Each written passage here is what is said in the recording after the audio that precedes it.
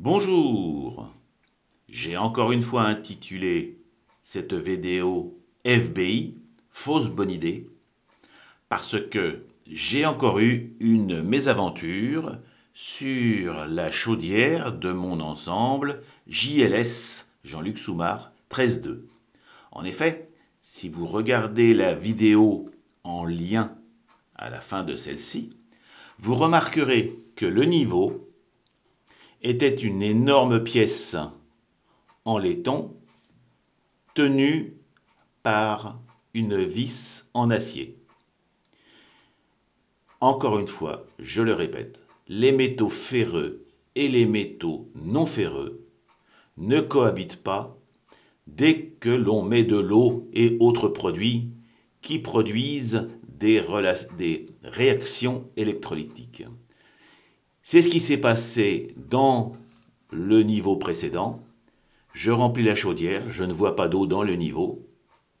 Je démonte et je constate un énorme bloc d'oxydation à l'intérieur des parties qui composaient ce niveau.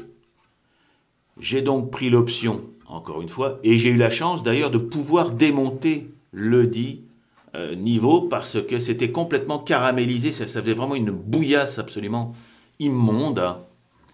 J'ai donc été obligé de demander à JMC, je ne l'ai pas terminé, c'était pour vous le montrer, mais j'ai déjà montré comment on fixait un niveau. J'ai demandé à JMC de me refaire un niveau en laiton sachant que le cuivre et les tons savent cohabiter. Je ne l'ai pas terminé parce que je voulais vous montrer un petit peu euh, le, positionnement. La ruse, pour bien aligner, bien sûr, vous essayez d'aligner les deux parties composant le niveau, mais surtout vous vérifiez que le tube métallique, alors qu'on n'a pas encore mis les joints de serrage pour l'étanchéité, qu'il y a du jeu. Vous voyez là, j'ai pas de souci, je peux le positionner un peu partout, il est rond. Donc en tout cas, tel que j'ai positionné ici les deux éléments composant le niveau, je n'ai pas de souci. Alors petit détail, les gens peuvent se demander pourquoi on met une petite vis aussi ici. Bah, tout simplement, je le rappelle, parce que comment voulez-vous, si je n'en ai pas, que je glisse le tube de niveau? Donc, je vous le remontre une petite fois, ça ne prend que quelques secondes. Hop, je dévisse. Et vous voyez, je peux sortir le tube. Alors évidemment, avec les doigts, c'est pas facile, mais faites-moi confiance. Je vais bien trouver une position où je peux, voilà. Hop, et le tube sort par le haut. Hop. Vous comprenez bien que si j'avais mis cette vis en dessous, j'aurais eu du mal à glisser le tube. Cette euh, position me permet en plus de le nettoyer dans le futur.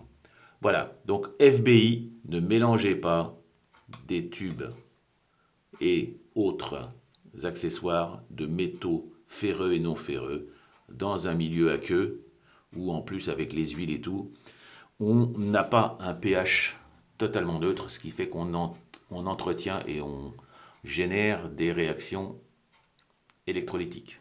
Je n'ai pas touché non plus encore à cette partie puisque le, le manomètre fonctionne, mais j'ai peur que à plus ou moins long terme, j'ai le problème.